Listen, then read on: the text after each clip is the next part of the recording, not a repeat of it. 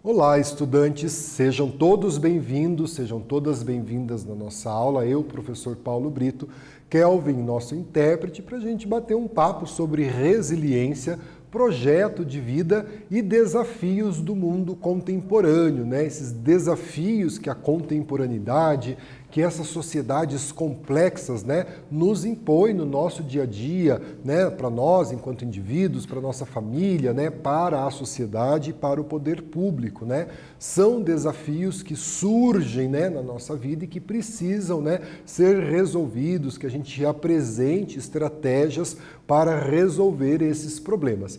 Vamos dar uma olhada aqui nos objetivos da nossa aula, definir o conceito de resiliência, né? O título da aula é Resiliência, afinal de contas, o que é a resiliência, aplicar o conceito de resiliência, né, para o alcance dos objetivos e revisar a necessidade, compreender a necessidade de revisar o caminho a ser percorrido, principalmente diante desses desafios contemporâneos que exigem né, esforços né, individuais, coletivos, do poder público, desse conjunto de ação para a resolução, né, para a diminuição desses problemas sociais que atingem a nossa sociedade nos dias de hoje.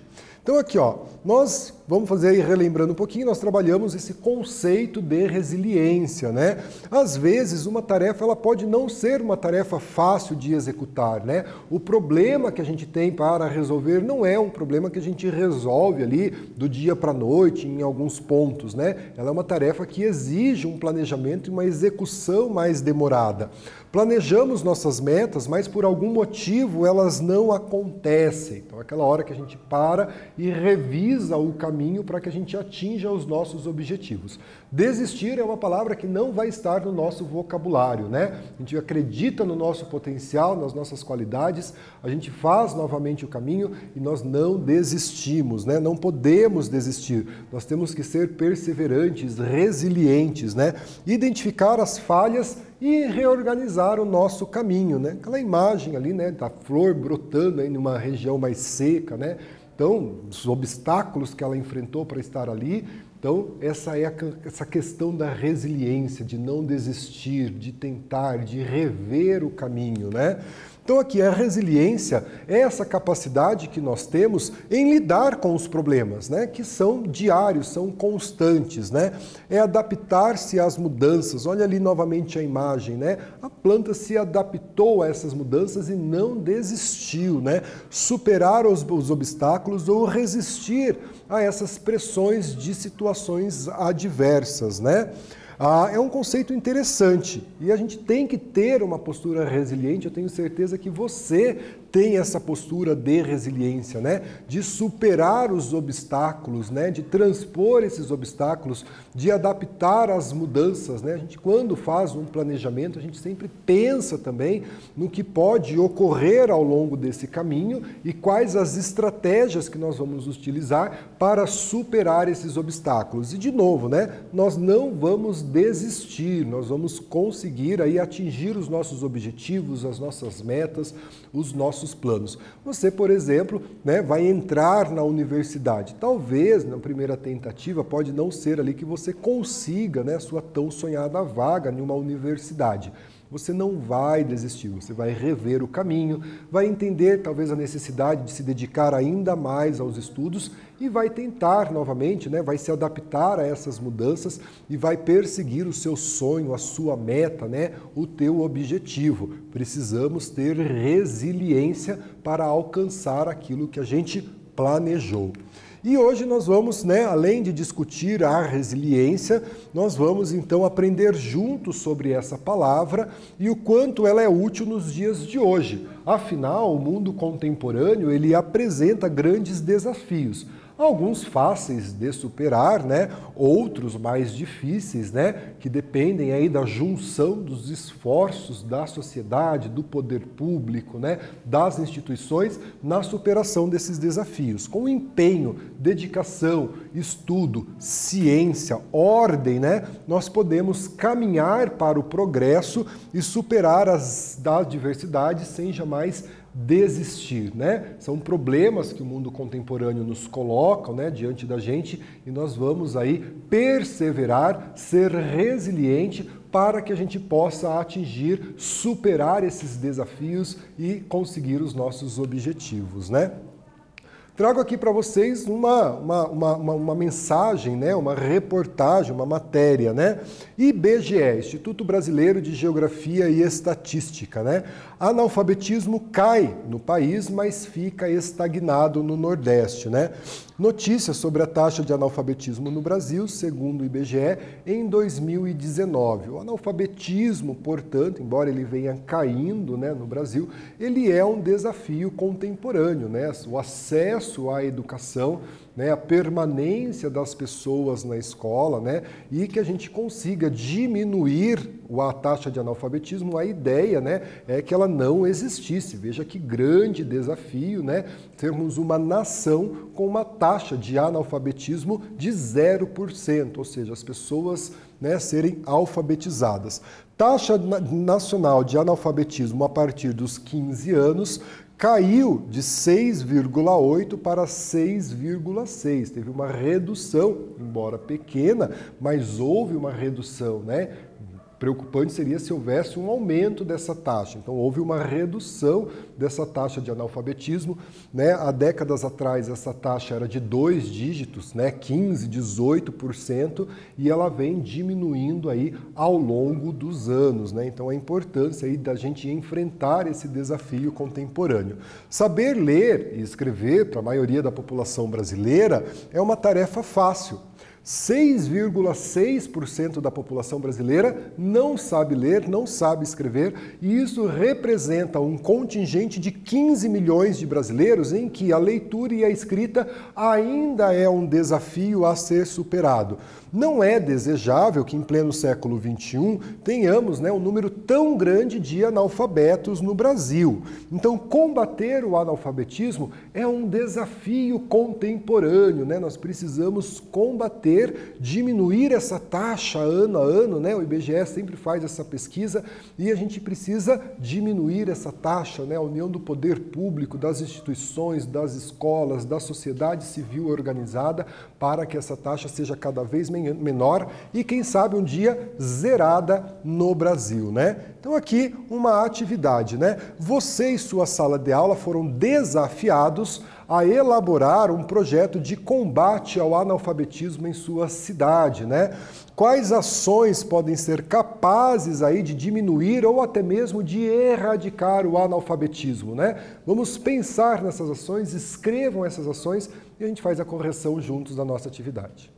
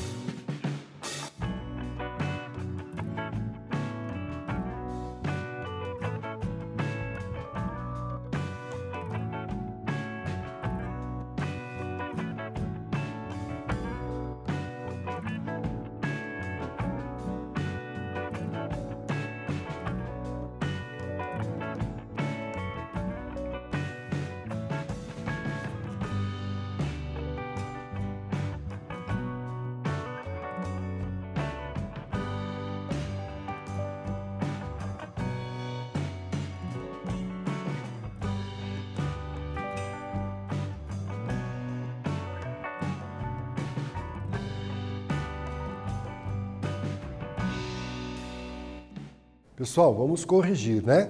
Quais ações você e sua sala que foram desafiados a contribuir com um projeto de combate ao analfabetismo, quais ações vocês podem né, elaborar, pensar, né, propor para diminuir e até mesmo erradicar o analfabetismo na sua cidade, né? Então aqui, ó, você pode pensar junto com seus colegas nessa contribuição, né? Conheça os programas ofertados pela Secretaria do Estado de Educação, né, pelo Ministério da Educação e incentive pessoas analfabetas. Às vezes as pessoas ficam um pouco constrangidas de dizer que são analfabetas, né? Mas incentive essas pessoas a procurarem as escolas, né? Talvez tenha uma escola próxima a você que ofereça, por exemplo, a educação de jovens e adultos, né, nesse processo de alfabetização. É, ou incentive alguém a aprender a ler, aprender a escrever, né? uma pessoa que está iniciando aí nesse processo de deixar de ser analfabeta, você pode doar um livro, né? uma leitura mais simples, mais fácil, né? e incentivar essa pessoa a descobrir esse processo de alfabetização, contribuindo assim para a erradicação de um problema que é um grande desafio contemporâneo. Olha aqui essa outra né, manchete que eu trago para vocês. Criança e adolescente, né? É, da revista Igualdade, traz aqui, ó, drogadição na adolescência, né? Um desafio de gestão e atenção integral. Infelizmente, né, o problema de álcool e drogas, principalmente em jovens, em adolescentes, ele é um grande desafio que a sociedade enfrenta, tá? Então, o combate ao uso de drogas, ao uso de álcool, é um desafio contemporâneo. Nós precisamos enfrentar esse problema, né? Enfrentar de uma forma clara, objetiva, o problema da drogadição, principalmente entre jovens e adolescentes e também, é claro, na população adulta, né? O problema de uso de drogas, tanto elas lícitas como ilícitas, né, é um desafio da sociedade. A sociedade civil organizada e o poder público atuam diretamente para evitar o acesso e o uso de drogas para a população e também os seus efeitos. Né? Então, nós temos uma série de programas que o poder público, que o governo do estado, que a sociedade civil organizada faz, né? E daí a importância, né, da gente atuar aí para evitar esses problemas de drogadição. Você um jovem aí, né, com saúde, esperto, inteligente, tenho certeza que vai passar longe desses mundo, desse mundo da droga, desse mundo do álcool, né? E vai ter um desenvolvimento saudável, né? Trago aqui para vocês, ó, no mês de junho o Paraná tem a campanha Paraná Sem Drogas, né? E ela tem aí cerca de 30 atividades online, né? Então, no mês de junho de todos os anos, a gente tem esse projeto do Paraná Sem Drogas. O governo do estado ele atua fortemente no combate ao uso de álcool e drogas. Você conhece esse programa, esse programa Junho Paraná Sem Drogas, né? Pesquise sobre esse programa, vejam as ações, né? Temos vários vídeos, palestras, né? Que a gente pode para combater o uso de álcool e drogas, principalmente aí na população adolescente, nos jovens e também na população adulta. Então aqui, ó, você e sua sala de aula podem produzir painéis, né, com a supervisão dos seus professores sobre a prevenção do uso de álcool e droga. Quais conselhos, né, nós podemos escrever nesses painéis, nesses cartazes, né? Tragam aí as ideias, né, e quem sabe desenvolver essa atividade com vocês, com o teu professor e fazer uma campanha de prevenção ao uso de álcool e drogas.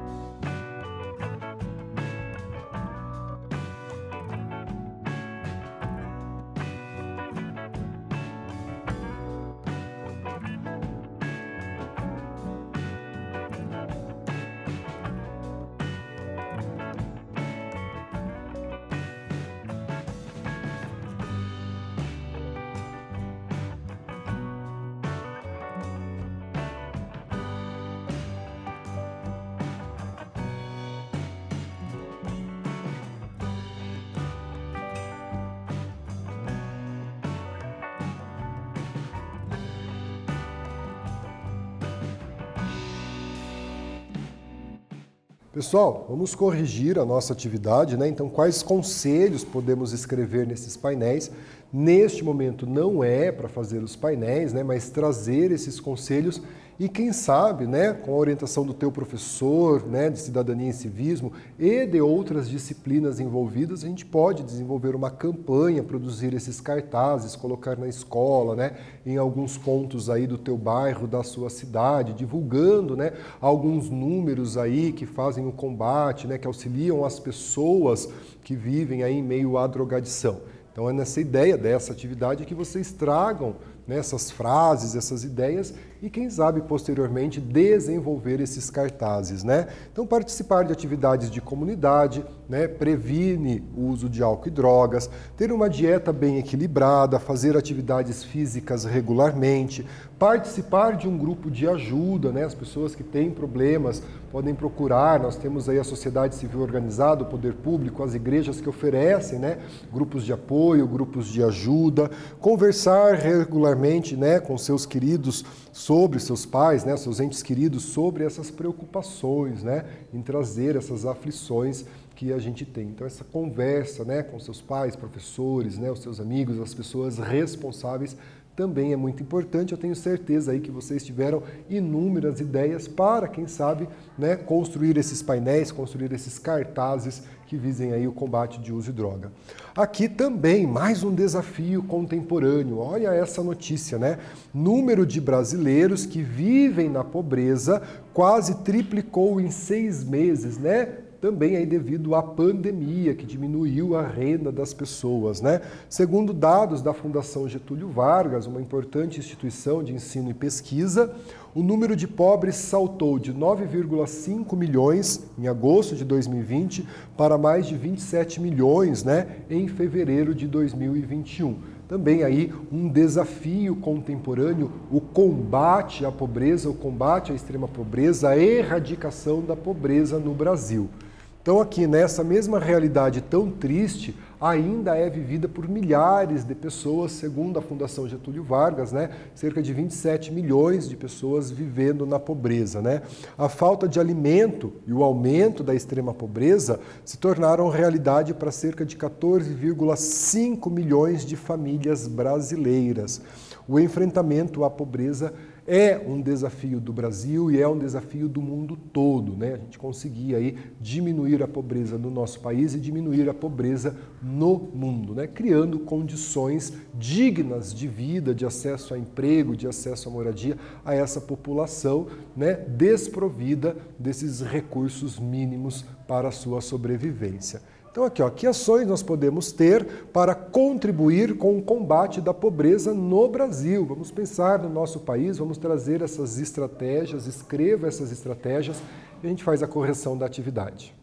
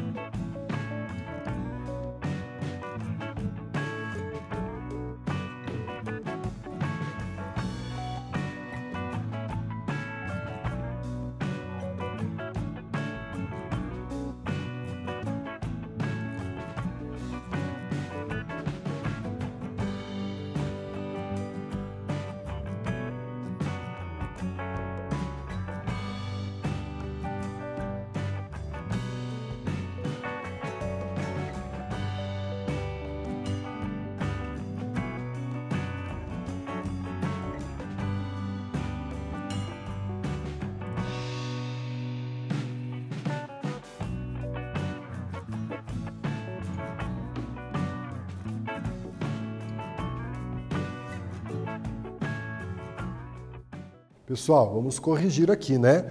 Quais essas ações são ações muitas vezes simples que a gente pode tomar né, na nossa comunidade, mas que ajuda a reduzir a pobreza no Brasil, começando aí pensando no local, pensando na sua cidade, na sua região, e aí essa campanha de repente ganha corpo no Brasil e a gente pode contribuir para a diminuição e a erradicação da pobreza, né? De acordo com o Banco Mundial, o Brasil só vai continuar reduzindo a pobreza com serviços melhores e mais produtividade no trabalho, né? Essa relação entre trabalho e pobreza uma política fiscal eficiente, justa e sustentável, melhora dos serviços básicos né, e garantir o acesso da população a esses serviços, aumento da produtividade. A educação é o caminho para a emancipação do indivíduo, né? a garantia de acesso e de permanência dessa população mais vulnerável nas escolas e a importância dos programas sociais do governo federal, do governo estadual,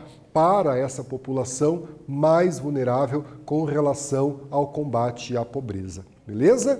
Galera, os desafios contemporâneos são grandes, né? Quando a gente pensa, né, combate ao analfabetismo, né, o combate à drogadição, ao uso de drogas lícitas e ilícitas, o combate à pobreza, à violência, à xenofobia, que a gente não trabalhou de uma forma aprofundada na nossa aula, são desafios contemporâneos, né? Porém, para os problemas existem soluções, né? Devemos praticar a resiliência e não desistir. Né? A gente não vai, neste momento, talvez conseguir resolver um problema de um país tão grande como o nosso, mas nós podemos contribuir né, com essa resolução na nossa cidade, no nosso bairro, na nossa escola, né? programas de prevenção ao uso de álcool e drogas, né? identificando famílias que vivem em extrema pobreza, em vulnerabilidade social, né? a questão do meio ambiente, nós também precisamos colocar né, em evidência a preservação do meio ambiente, que é um desafio contemporâneo.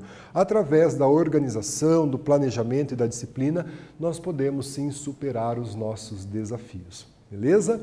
Galera, muito obrigado pela companhia de vocês. Fiquem bem. Kelvin, obrigado pela tradução. Se cuidem e até a próxima.